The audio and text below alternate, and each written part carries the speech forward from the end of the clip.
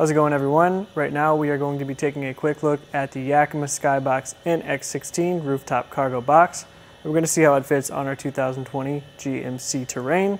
This is going to be a great option for you if you want to get some larger or messier items up on your roof that you don't have room for, or you'd rather not keep inside your vehicle and you want to keep them protected at the same time.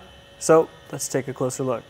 So it's called the NX16 because it does offer 16 cubic feet of storage which, if you want to put that in an easier perspective, is basically just enough room for three people's worth of gear. It is also going to weigh 47 pounds, so factor that in plus anything you want to store inside. Check your roof rating, your roof rack system weight rating, and go by the lowest rated component just to make sure that we're not overloading anything. To open our box up, first thing we're going to need is the key. So we just fit it into this lock core here on our handle. And once we turn that, we do have the ability to now open up our box.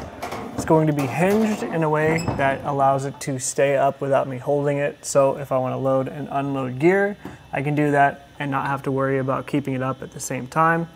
So from here is when you would actually be able to load things in.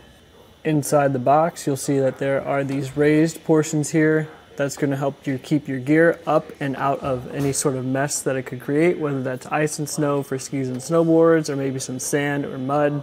In either case, it'll keep your gear up and out of that. Down here, we can take a closer look at the top of our clamp setup. So on here, we do have an opening for our straps. If we want to, we can use that to tie down and secure our gear.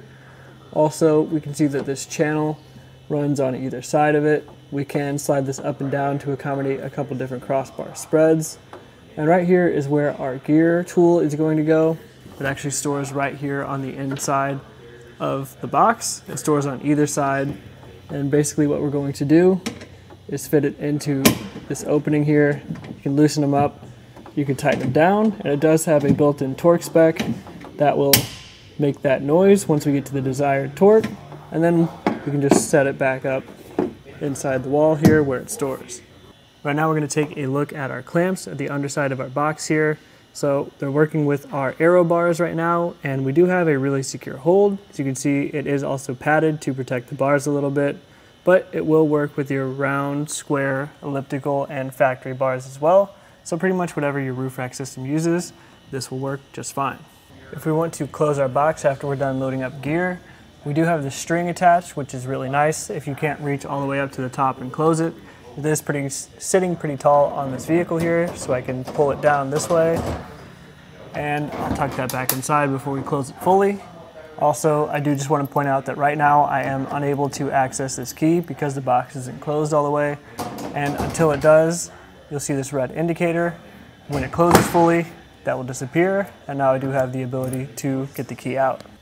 I'm on the other side of the vehicle right now just because I do want to show off the fact that we can open this box up from both sides. We will need to get the key to unlock the latch again, but once we do, we can pop it open. So if we have some gear that we want to keep over here or something we want to keep on the other side, because we have it centered up on our crossbars right now, we can get it from either way and it'll hinge and stay open the same way it does on the other side. But again, we won't be able to get the key out until it's fully closed and locked up. Where you have your box could kind of depend based on where you set up your roof rack system. On this vehicle, we do have raised rails, so we do have the ability to adjust it a little bit. But as we have it now, it's pretty much in the middle, and we do still have hatch access. So the Skybox NX16 does have that undercut tail in the back, so it doesn't take up a ton of space. And as you can see, we have plenty of room before we're going to make contact with the hatch, so we can move it back even a little further if we wanted to. One thing to keep in mind with this system is that we are going to be adding about 16 inches of height to the highest point from the top of our rails here. So that's the number you want to keep in mind as far as can I store this in my garage or anywhere that you might run into clearance issues.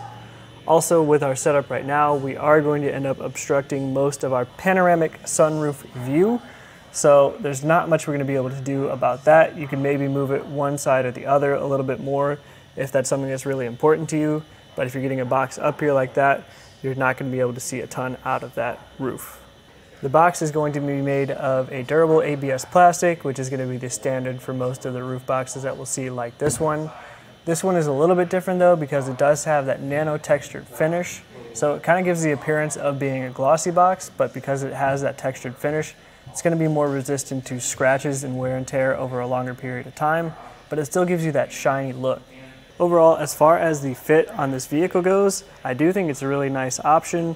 I think if you have this car, there's a really good chance that you're bringing multiple people where you need them to go, and you're going to fill up that storage in the back really quickly. So if you have some larger items, or maybe you're just taking a road trip and you need a way to get those where you need them, but you want to keep them protected at the same time, this is going to be a great choice.